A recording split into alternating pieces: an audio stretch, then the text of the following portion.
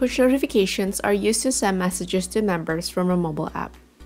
For example, they can be used for reaching out to your members with updates such as course closures, special events, reminders, etc. For a member to receive a push notification, they must be logged into the app, but the app does not have to be open on their mobile device at the time the notification is received. Push notifications also have to be enabled for the app on the member's mobile device. Push notifications can also be enabled for JCM time reservations, and dining reservations, court reservations, appointment booking, and event management within Jonas Activity Management or Jonas Encore. To create a push notification, first switch to Club Central, then navigate to Mobile App. In the Push Notifications tab, select the Create button. This will take you to the page to create a new push notification. Enter the name or heading of the notification that pops up on a member's mobile device in the title field. Make sure that the title is clear and direct. Note that there is a 25 character limit. You can optionally include a URL in a notification. To add the URL, select the URL checkbox then enter it in the field. Note that you need to add the full URL including HTTP or HTTPS. Enter the message of the notification in the message field. The send on field will default to now and the message will be sent out shortly after you select the Save button, even if you do not enter a date and time in the field.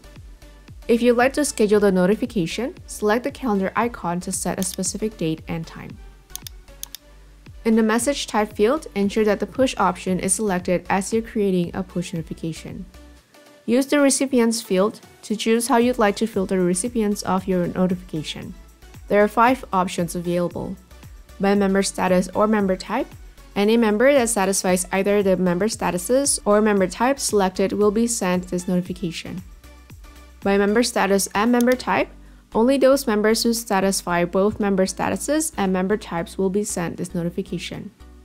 By member name, it will give you the option to select specific members by name.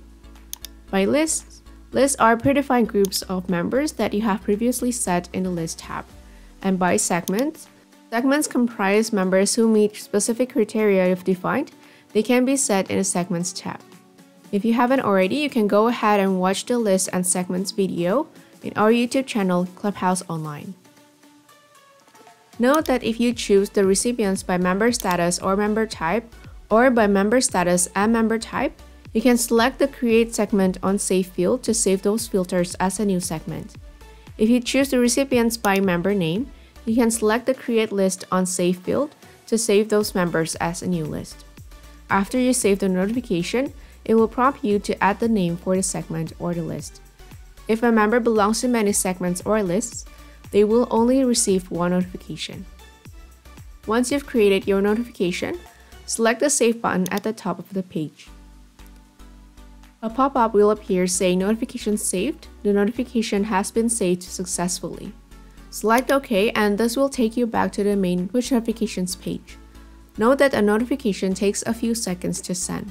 You can cancel a notification by selecting the red trash can icon if it has not yet been sent. The icon will disappear if it has been sent. Once the notification is sent, the status will update to sent and it will show the date and time that the notification was sent. If you select the sent status, it will display the users who have received notifications, along with their device details, including any errors that may indicate which members didn't receive the notification.